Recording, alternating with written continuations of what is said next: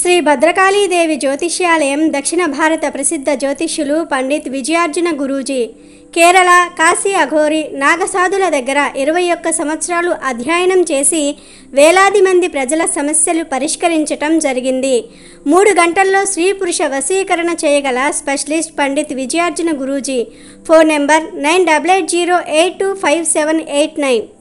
రేపే కార్తీక బుధవారం. ఎంతో పవిత్రమైన రోజు. అయితే ఈ రోజు జీలకర్రతో ఇప్పుడు మనం చెప్పుకోబోయే ఒక చిన్న పరిష్కారం చేసినట్లయితే మీకు ఉండే ఎలాంటి ఆర్థిక ఇబ్బందులైనా సరే తొలగిపోయి గంటలో అఖండ ఐశ్వర్యం ప్రాప్తిస్తుందని వేద పండితులు చెప్తూ ఉన్నారు.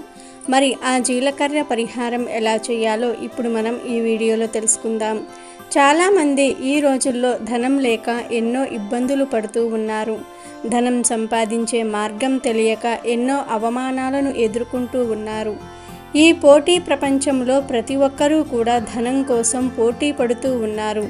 దరిద్ర బాధలు ఉన్నాయని బాధపడేవారు దరిద్రాలు ఎక్కువగా అనుభవిస్తూ ఉన్నాము అని ఇబ్బంది పడేవారు. ఈ పరిహారాన్ని తప్పక పాటించండి. ఈ పరిహారానికి ముఖ్యంగా కావలసినది జీలకర్ర.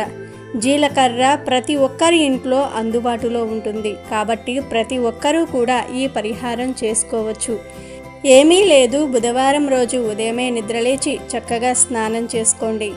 ఆ తర్వాత ఒక స్పూన్ జీలకర్రను ఒక చిన్న వైట్ పేపర్లో వేసి పూజ గదిలో గణపతి ఫోటో ముందు పెట్టి పూజ చేయండి.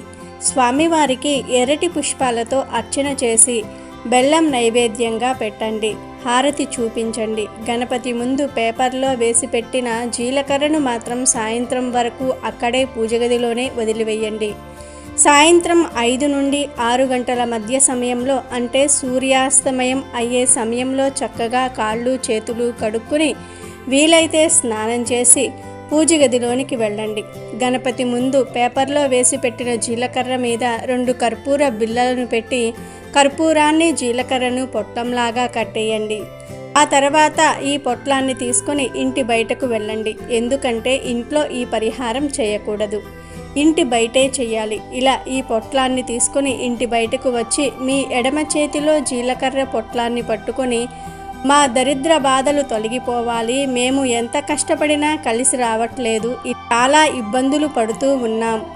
ఆ ఇబ్బందుల నుండి బయటపడటం కోసం ఈ ఉపాయం చేస్తూ ఉన్నాం. ఈ ఉపాయం మాకు సిద్ధించి చక్కటి ఫలితాలను తెచ్చిపెట్టాలి.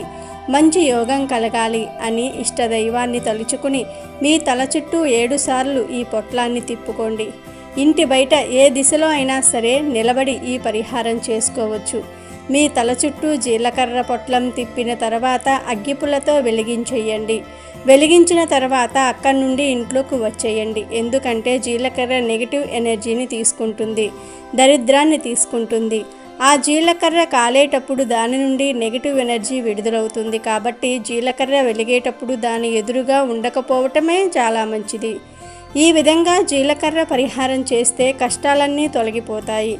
ఎవరైతే దరిద్ర బాధలు ఉన్నాయో ఎవరికైతే దరిద్రం అనుభవిస్తున్నాం అని అనుకుంటున్నారో అవన్నీ తొలగిపోవాలంటే మాత్రం కనుక మీరు రేపు కార్తీక బుధవారం రోజు సాయంత్రం సూర్యాస్తమయ సమయంలో జీలకర్రతో ఈ పరిహారం చేసి శుభ ఫలితాలను పొంది సంతోషంగా జీవించండి. వీడియో నచ్చితే లైక్ చేయండి షేర్ చేయండి. బట్ సబ్స్క్రైబ్ చేసుకోవడం మర్చిపోవద్దు.